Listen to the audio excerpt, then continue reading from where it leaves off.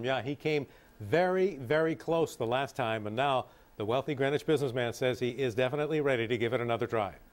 I'm planning to run again, yes. You didn't have enough last time? Yeah, I actually enjoyed the campaign last time. I didn't enjoy losing, but I, I enjoyed uh, the campaign. I was glad I ran for office and uh, look forward to doing it again. After a bruising primary and final election campaign two years ago, Foley lost to Democrat Dannel Malloy by a razor thin 6,404 votes. He spent millions of dollars of his own money doing it, just like another Greenwich millionaire, Linda McMahon, in the election that just concluded. But he says that is not a bad omen. So I don't think self-funding uh, really matters very much to people.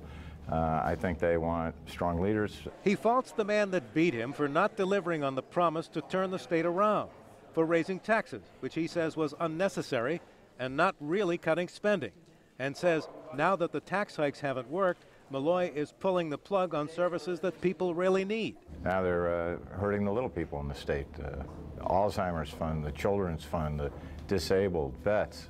They're stepping on the brake and, and, hitting the accelerator at the same time. We know that uh, uh, the state of Connecticut was in a terrible mess uh, following uh, 16 years of Republican governors, and I've spent a lot of time to turn that around. We're about 90% of the way there. We'll, we'll get the other 10. As far as a rematch with Tom Foley, the governor says it's not time to talk about it yet. I've not even given it any thought. I got a pretty big job to do. Uh, I concentrate on doing that job. We'll let the politics take care of itself at an appropriate time, and this is not the appropriate one.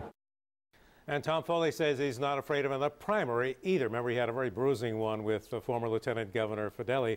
Uh, there are, he says they actually, he says they can be healthy for the party. Many people believe that. There are at least three Republicans who are rumored to be thinking about running for governor next time. They are Danbury Mayor Mark Boughton, who was Foley's running mate the last time, the minority leader in the state Senate, John McKinney from Fairfield, and the minority leader in the House of Representatives, Larry Cafero of Norwalk.